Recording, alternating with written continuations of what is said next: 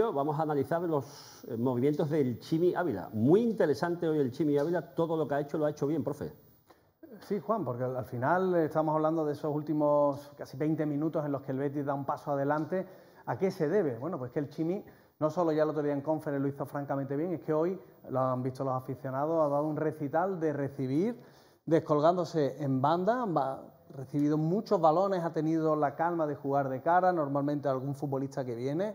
Después ha sido un incordio jugando entre líneas en la parte de los centrales, siempre atento a cuando el futbolista rival iba a recibir el, balón, la anticipación y de nuevo jugar de cara al futbolista que viene, normalmente Nabil Fekir, por ejemplo, y sobre todo algo que el Betis necesita muchísimo, eh, esté Roque o esté cualquier otro delantero, es el juego asociativo. Es un futbolista que se mueve entre líneas, no tan indetectable como puede ser Juanmi, él es más previsible, pero es tan inteligente que juega siempre al límite del fuera de juego y recibe el balón. ¿Y qué ocurre cuando recibe el Chimi?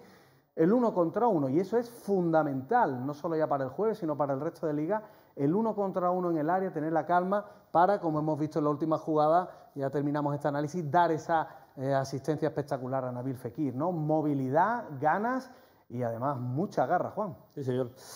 Gracias, profe Botello. Un placer, como siempre, tenerle con nosotros, que lo sepa. Placer es mío, amigo. Gracias, Jesús Botello, que nos